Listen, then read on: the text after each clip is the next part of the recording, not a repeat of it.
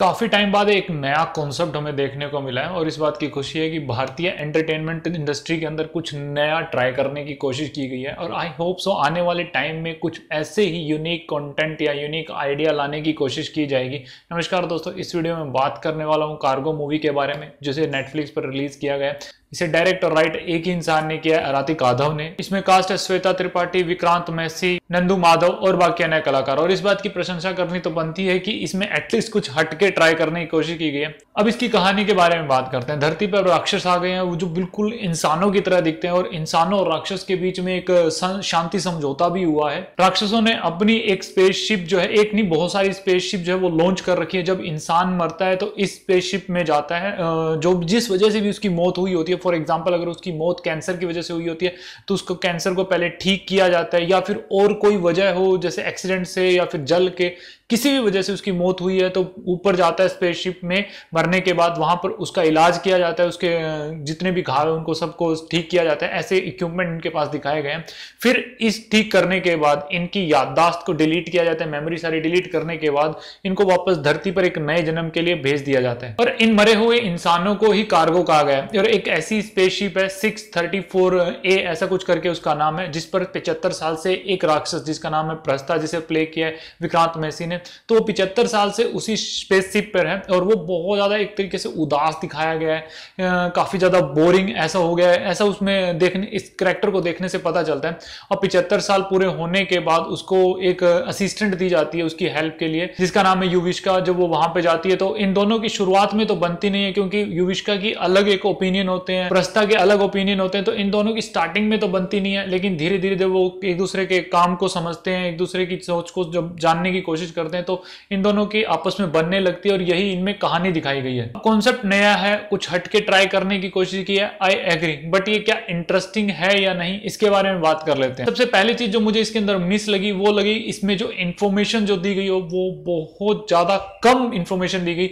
मतलब कि शांति समझौता कैसे हुआ, राक्षस धरती के ऊपर कब आए, वो इंसानों जैसे कब कैसे दिखने लगे, इन सब चीज़ के बारे में, या फिर धरती के ऊपर इंसान और राक्षस आपस में कैसे रह रहे हैं, उनके बीच का व्यवहार कैसा है, ये सारी की सारी इंफॉर्मेशन इसमें टोटली मिस थी। स्टार्टिंग में जब मूवी देखने बैठा था तो एक बार मैंने मूवी देखने, कुछ एक देर बाद मूवी देखने के बाद मैं थोड़ा कंफ्यूज हो गया और मैंने इस मूवी को वहीं बंद कर दिया। अगले दिन मैंने इस मूवी को कंटिन्यू किया, जिससे ये पता चला कि यार इस मूवी का मूवी मेरा इंटरेस्ट इतना बन नहीं पाया। यानी मूवी में इंटरेस्ट बिल्ड करना काफ़ी ज़्यादा मुझे लगा कि यार ये नाकाम रह रही है। दूसरी इसमें सबसे बड़ी कमी मुझे महसूस हुई करेक्टर डेवलपमेंट की। प्रस्ता जो पिछहत्तर साल से उस स्पेसशिप के ऊपर है, वो इतना उदास क्यों है? उसके पीछे की कहानी क्या है? ये सब चीज़ें इसमें नहीं बताई गई। जब युविष्का आती है तो उसकी एक छोटी मोटी स्टोरी दिखा दी जाती है स्टोरी दिखाई नहीं जाती, बल्कि वो बताती है कि वो क्यों राक्षस मतलब कि स्पेसशिप में आई, उसने ये काम क्यों चुना?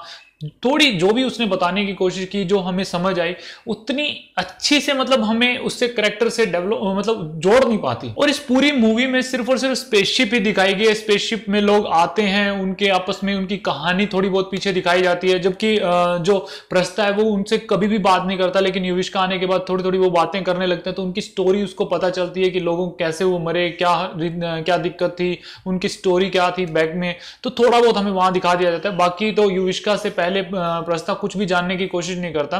एक तरीके से सिर्फ़ और सिर्फ़ स्पेसशिप के अंदर ही क्या हो रहा है, वो ही दिखाया गया बाकी जो धरती पे हो रहा है, ऐसा कुछ भी इसमें एक थोड़ी सी भी झलक देखने को हमें नहीं मिलती। और कार्गो जब दोबारा धरती पे जाते हैं तो वो किस रूप में जन्म लेते हैं या कौन सा उनका मतलब एज होती है, ऐसा कुछ भी इसमें नहीं दिखाया गया। और इसमें थोड़ा सा कंफ्यूजिंग कि भाई एक दूसरे को ढूंढ लेते हैं ऐसे मरने के बाद, ऐसा इसमें कॉन्सेप्ट दिखाने की कोशिश की वो यार सच में इतना ज़्यादा कंफ्यूजिंग था, उससे मुझे लगता है कि और ज़्यादा इसको अच्छे से दिखाने की ज़रूरत है।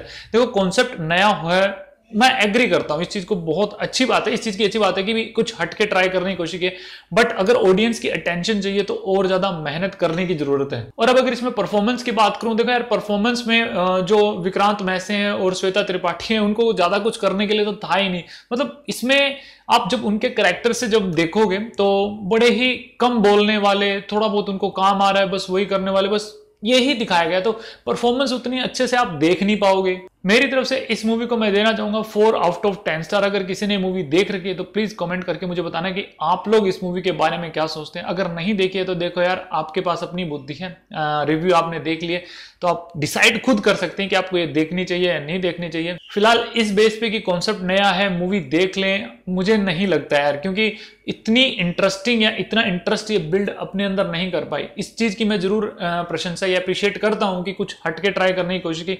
लेकिन इसका मतलब ये नहीं कि कुछ नया होने पर हम उसको बस देखने पहुँच जाए। खैर, बस आज के लिए इतना ही था इस वीडियो में। Thanks for watching this video मिलते हैं नेक्स्ट वीडियो में। जय